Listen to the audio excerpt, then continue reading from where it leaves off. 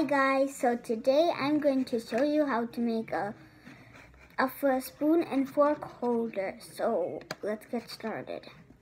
First you're gonna need two 6x4 plates like this and put them on the floor like this or on your table like this. And then you're gonna wanna make this three layered six by one, three six by ones stacked up on top of each other like this. Doesn't matter what color, just any color for all the parts.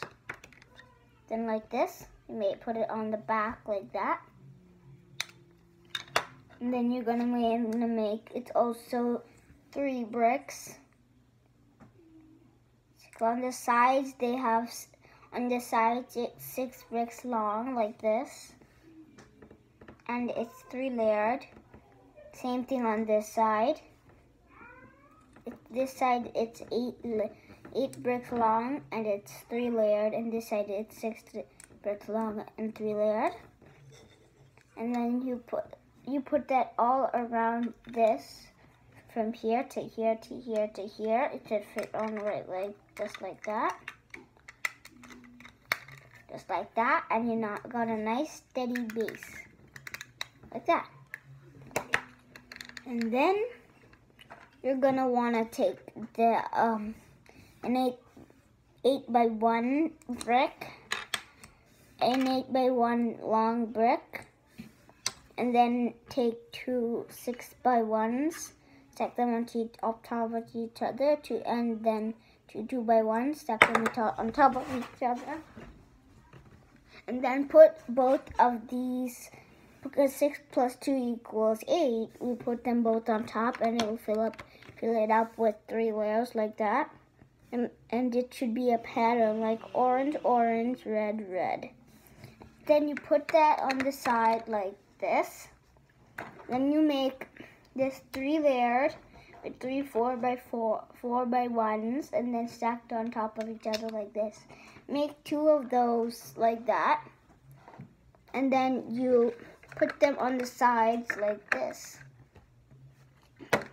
And then you make another the same thing that we made on this side make this one another one of those and then put that on the other side to fill it up. Oops fill up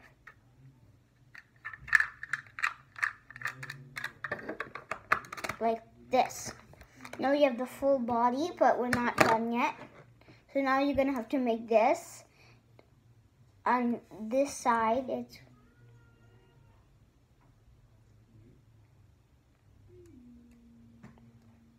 Twelve bricks long like this. And then here, it's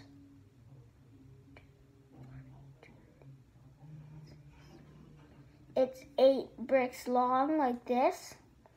And then here and here, instead of just putting a flat brick, you're going to want to make it an upside down curve and an upside down curve. And then also over here, you're going to want to make an upside down curve. The top, you put over the whole thing, you put some plates to connect it together. And then you take a slope, a plate slope that will connect to this, the upside down slope brick, and then a plate to fill up the space and then uh, bricks, uh, some brick slopes to cover up that space and then the same thing for the other side as we did for this side and then more the same thing as we did for this side and then the same thing as we did for this side. All of that will make this. And then what you do is you take it and then you put it on like this. On like this. And up here down here there should be some space like to put an upside down minifigure or something. And here, and then there should be one more space blanket putting coming out. And then you're make, gonna make one more of those, but it's more shorter.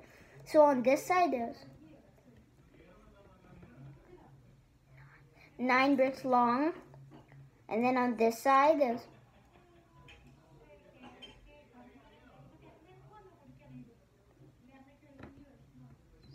six bricks long.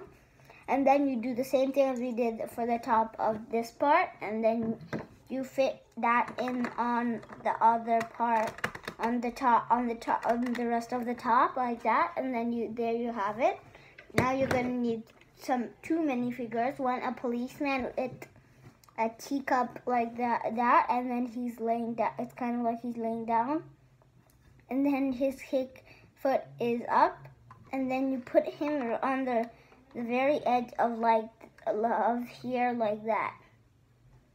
And then you are gonna need a captain from a ship ship like this and you're gonna put him on the side the opposite side as the policeman like this and looking down like that.